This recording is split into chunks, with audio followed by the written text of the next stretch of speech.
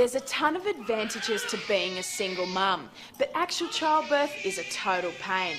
But there is a way to get epidural free access to your own income welfare stream in under a minute. Just head to your local casino car park, do a bit of window shopping until you find a gambling orphan you like. Then parenthood is just a jimmied lock away.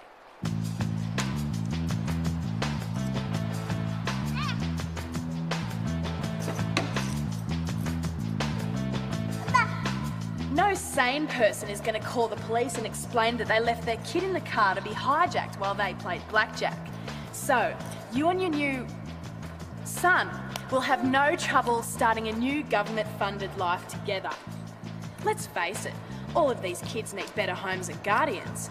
So, adopt a gambling orphan today because if you're after the easy money, single mother benefits are still your best bet.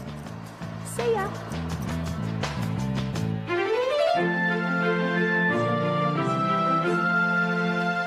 Dilemma that a